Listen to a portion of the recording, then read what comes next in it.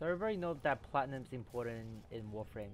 You can literally use it to buy anything, especially uh, weapon and Warframe slots and mods. But you don't always have to pay for them. You can farm them with your willpower. So I'm going to show you guys a few way, actually four ways to farm platinum. some of them can peak at efficiencies of 100 to 200 platinum per hour. So yeah, let's get the video started. Now I'm going to go from the worst way of learning plat, I mean not the worst, but like the least efficient on my list to the most efficient. And the first way is corrupted mod farming.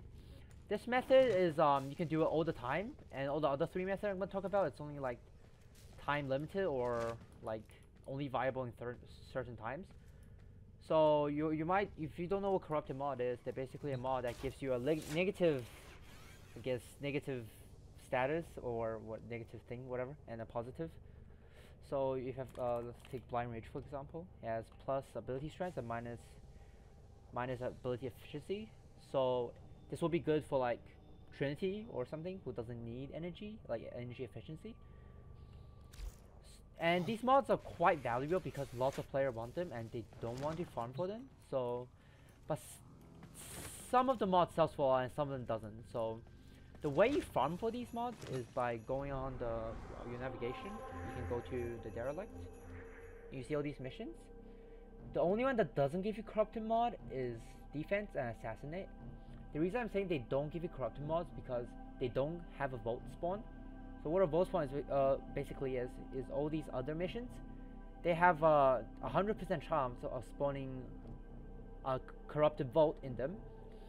In the corrupted vault, you have to use a key to unlock the vault. And you have to find the vault by going around the map. It the vault can be anywhere. It could be the starting room. It could be the extraction room. So you gotta search for it. So it's best to do this with a team of four. And in order to get access to the location, you have to get you have to get the keys for it. So you can see this assassinate, capture, defense, and these keys are infinite use, so you can just buy one and use it forever. Now the vault can be unlocked by another set of keys. So you can get these keys from your clan. So basically, you have all these dragon keys. You have four dragon keys, and a vault has a chance to be unlocked by any of these keys and can only unlock by one. So it's recommended going a team of four, and each person equip one key. And these keys can be crafted with void traces and pharaoh, so it's fairly cheap. But they give you a debuff. This one has a 75% health debuff, and this one is like 75% shield, I believe. So everything is 75% except for movement I think this is a 50% movement decrease. So yeah.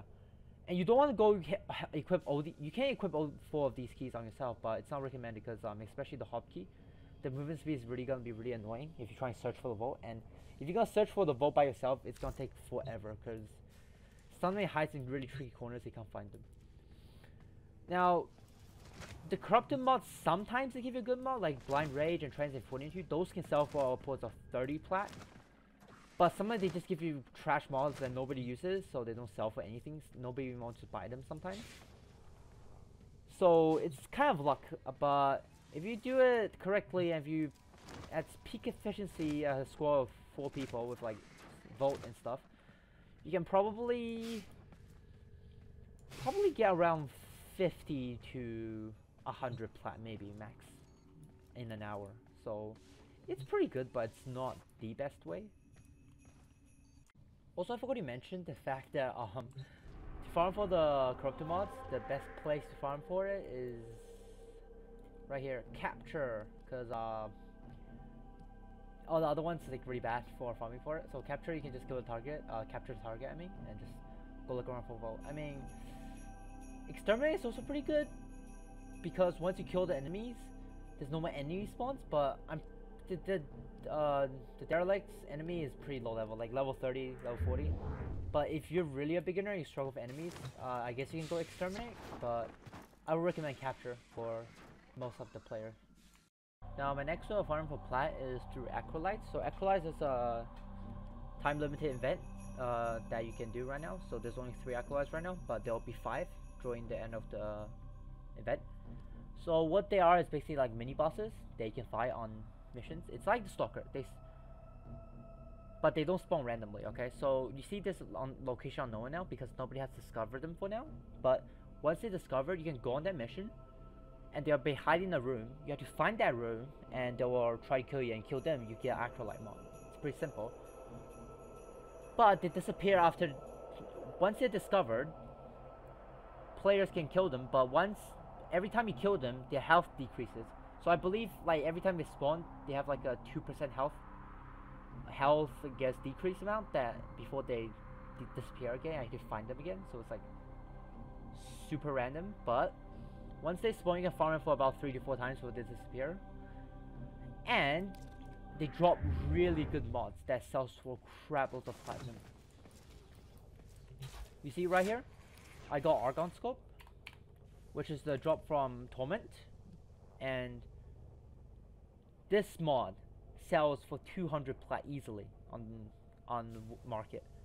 But not right now because the event's going on, everybody can farm them. But before before the event come on, they sell for like 200 plat each.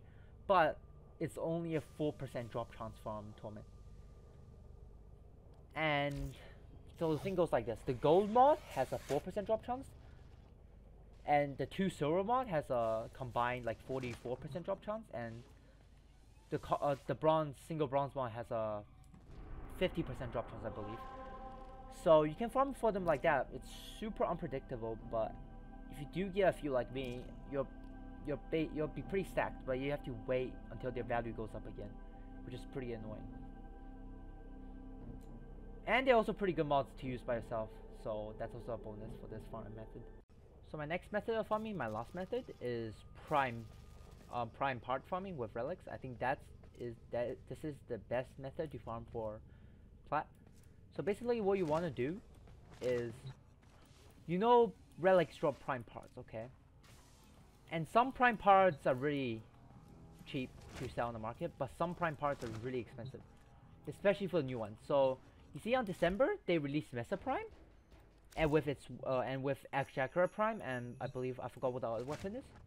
But Akjagara Prime's barrel, the barrel part, that's why I farmed for to get most of my plat, goes for around 80 plat when it was just released. Because that was a new prime weapon. And to farm for that Akjagara Prime barrel, all you have to do is get um, Meso A1 relic. And you can see right there it's on the golden drop list. And all you have to do is get that relic, refine it to radiant with void traces, and just go on a radshare. If you guys don't know what a rat share is, it's basically you go into a squad, they all equip the same relic with ra uh, radiant, radiant quality. So you basically have four of them with this, so you have like a 40% drop chance of getting 40% chance of getting this prime part. So it's like super efficient, and to get the A1 relic, I went on Jupiter on Io and this mobile defense mission. On the some mobile defense, it's a defense mission regularly. You get around, I guess, if you're lucky, you get one A1 relic every 10 minutes or so. But last time I got three in a row, so that was like super lucky. But you probably get one A1 relic in 10 minutes. And you just come here, get some void traces, and refine it to radiant. So that'll probably cost you another 10 minutes to get the traces. So that's 20 minutes spent. And you just go on the radshare, which takes about 5 minutes, so that's 25 minutes. If you're lucky, you get the barrel, that's 80 platinum. And you do it twice in an hour, so you get about like 160 plat. If you're really lucky, you might get like 200 something, so that's really good way to farm plat. And you don't have to wait for the other, like, for my third method, like Acolyte farming, because you have to wait for a few months for the prices to go up. This is instant. And the next, uh, the next, I guess not new, but Prime Vault what Prime Vault is different from Prime Access is Prime Vault is returning Prime frames. Because this game locks Prime Warframe out. Like, you can't obtain them anymore after a bit of time. So basically, Frost Prime, you can't obtain it anymore. But in this Prime Vault opening, you can obtain it now with relics. So what you want to do is farm for uh, the Prime Vault, uh, the Prime Warframe or the weapon they're gonna release, uh, I guess, on Vault with this I'm. So the one they're gonna vault is Ember Prime and Frost Prime. I forgot what the weapon is, but what you want to do is get the relics from missions. You search, you can search those on YouTube. What's the most efficient way to farm those relics? You get those relics, you refine them to radiant, and you go on radshare and just hope your luck that you get the thing. And it's not that much luck based. That's why I like because um, it's like a 40% drop chance, so it's pretty high chance and it's you can get the platinum instantly you don't have to wait. So I believe this is the best method. So yeah that's basically gonna sum up my whole video and I guess wish you guys all luck for farming for plat. So yeah bye. Oh by the way if you guys are really new to this game the way you sell items here is on warframemarket.com that's where everybody lists, lists the item and you can search for items with your what you want to buy. It's super useful site. You can go on it. You have to uh, log in, I think, and you bind your account with your Warframe account stuff, but you don't know how to do those stuff. Yeah, just recommend the site.